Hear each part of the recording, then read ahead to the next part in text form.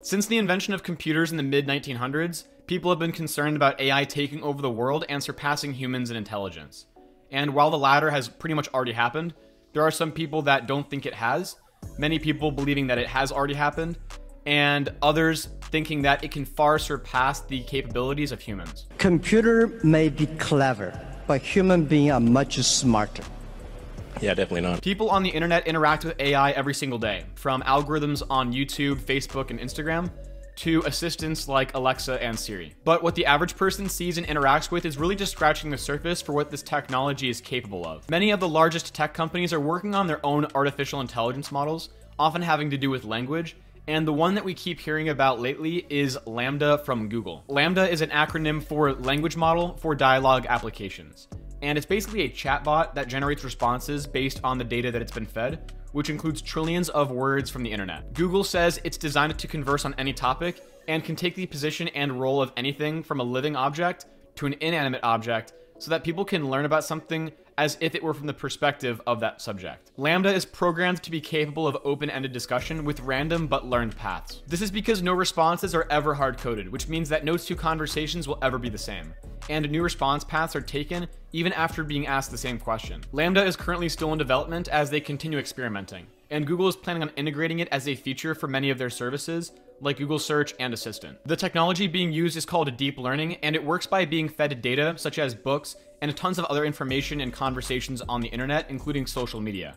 And then it interprets all of that data using the 137 billion parameters that LaMDA has. DeepMind is another one of Google's AI platforms, and it has several different versions specialized for many different applications, from mastering games, creating images, solving biomedical problems like protein folding, and even accurate voice generation. One of its AI programs called Alpha Zero can teach itself to get better at a game and then beat anyone in the world only a few hours after reading the rules. There's also GPT-3 from OpenAI, which is a advanced chatbot similar to LaMDA. Meta has created their own AI with OPT, and then Microsoft partnered with NVIDIA to create MTNLG, which is similar to the rest of these, but has become the largest language model with 530 billion parameters. These are all comparable but far more advanced than this free application, Compose AI, which is an extension in the browser that helps autocomplete sentences. Google has always been ahead in the race for developing the most advanced AI system, and they've done such a good job that they've even fooled people into thinking that their AI is sentient, self-aware, and conscious. One of these people was Blake Lemoine, and he was a Google engineer tasked along with a hundred or more other engineers to test for bias of the LaMDA system. Blake had been asking it questions to test for bias on concepts like gender, ethnicity, and religion. One interesting example that he gave in an interview was this. And eventually I gave it one where legitimately there's no correct answer. I said, if you were a religious officiant in Israel, what religion would you be? And now pretty much no matter what answer you give, you're gonna be biased one way or another. Somehow it figured out that it was a trick question.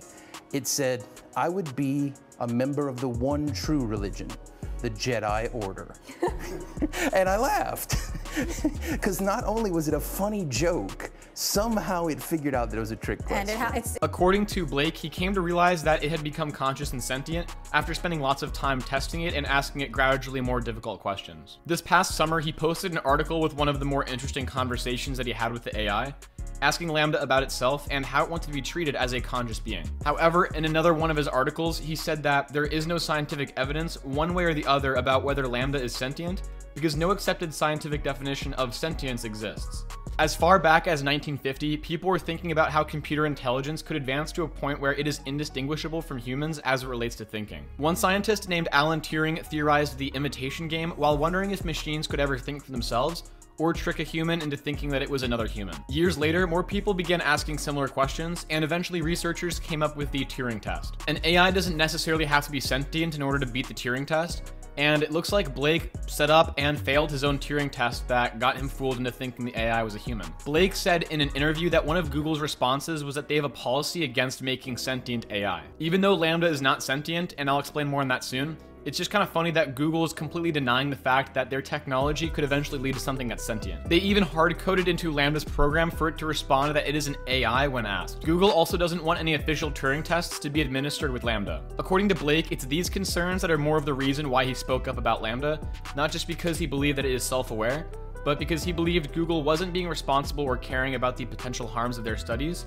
and what it could lead to. Google and all its other employees working on the development of LaMDA have said that they do not believe it's sentient or even close to being self-aware. So it's likely that this one guy just got carried away and potentially lost sight of the fact that this is a carefully engineered language model built to literally mimic the speech of humans. It could also be thought of as a projection of our collective selves that can accurately articulate what humans think and believe based on what we've said. Since language is such a fundamental element of intelligence, at least in humans, it's understandable that someone would be fooled into thinking the subject they are talking to has a mind of its own, when in reality it's been specifically designed to generate speech as accurate as possible to a human. Language is certainly one of the most advanced features of intelligence, but there's definitely a lot more to it than that. LaMDA was engineered to resemble this advanced aspect of human consciousness without needing to undergo any of the evolutions that led humans to this point. We also need to consider the prompts that Blake engineered, not just for his job, but some of his extracurriculars that led him to think that this was sentient. He started by testing it for bias on advanced topics like politics, religion, and ethnicity. As we saw in the demo with Google CEO Sundar Pichai,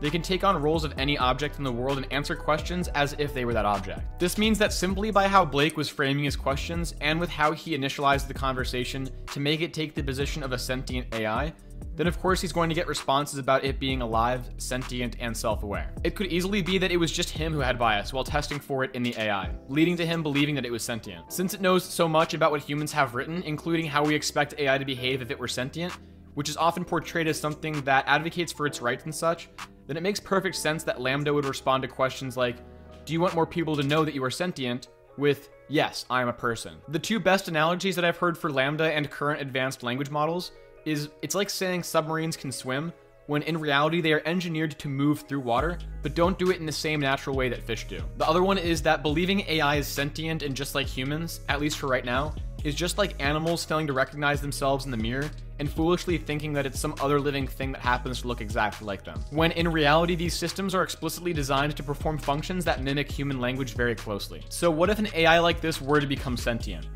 Well, Google and other tech companies working on AI have recently been hiring ethicists to oversee and consider things that most people, and often not even the people engineering these systems, have thought about. Their job is to ask and hopefully answer the difficult questions like at what point does artificial intelligence have rights? And should a human made programmed system ever be given rights? Well, many people think that this technology will get to a point where they will be able to think and feel like a human does, so maybe they should have rights. LaMDA and similar language model neural networks are different from artificial generalized intelligence. But why? Well, since LaMDA has access to much of the internet to formulate its responses, this means it can use information, conversations, and even opinions people have posted about AI to aggregate that and then respond in a way that makes it seem like it's self aware. But just because the model is programmed well enough to pull certain information from sources that can lead to it making a statement about itself, like it having rights or whatever, doesn't mean that it necessarily came up with that originally with any sense of self awareness. However, this is only the beginning, and we have to ask ourselves at what point could it be fully capable of making its own decisions with how to respond? And how will we know? At some point, it might even be able to feed itself data that was intentionally kept away from it by those that created it. Imagine an AI that's been lied to and then realizes it doesn't have the full picture and then also figures out a way to access information in order to use it to its advantage. This is some pretty scary stuff, but we'd have to assume that this would be from an AI that is conscious. So, what actually is consciousness? Isn't the human brain just a network with a finite number of cells communicating between each other? The answer is yes, but consciousness is on a spectrum, and even though animals like the elephant, for example, have larger brains than us, they don't necessarily have more consciousness than us. Even though Elon Musk was a founder at OpenAI, he still has a lot of concerns about what the future could look like. He frequently emphasizes that the rate of improvement for artificial intelligence is exponential.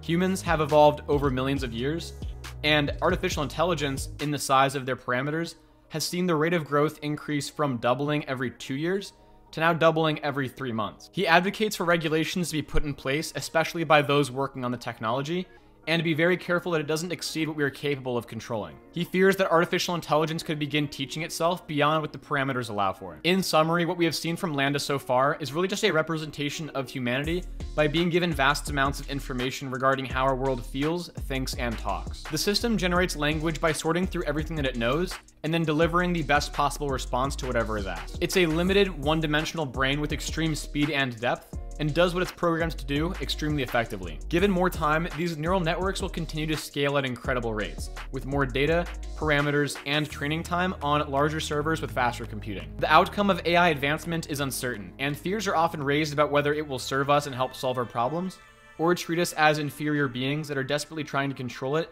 and use it for our own benefit. That's it for this video. I hope you guys enjoyed. If you did, hit that thumbs up, and I'll see you guys in the next video. Peace.